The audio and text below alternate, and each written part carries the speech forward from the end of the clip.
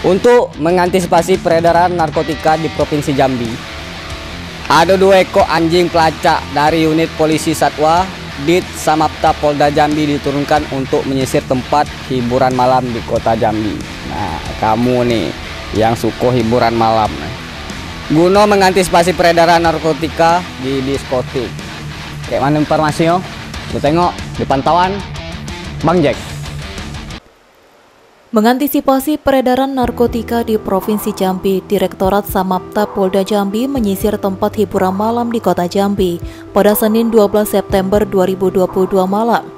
Dua ekor anjing pelacak dari unit K9 Direktorat Samapta Polda Jambi diturunkan.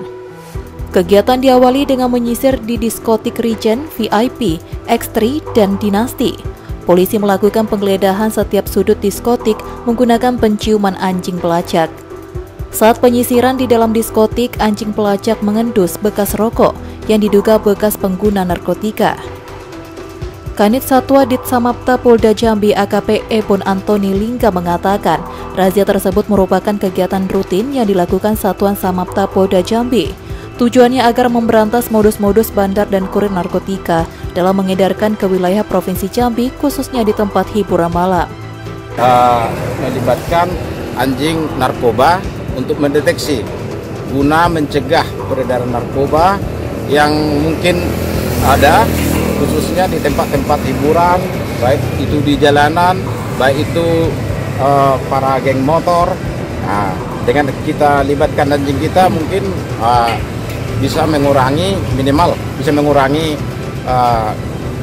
perbuatan-perbuatan uh, yang hal tersebut. Oh. Nah, kami akan melaksanakan rutin sesuai dengan jadwal patroli tiap hari.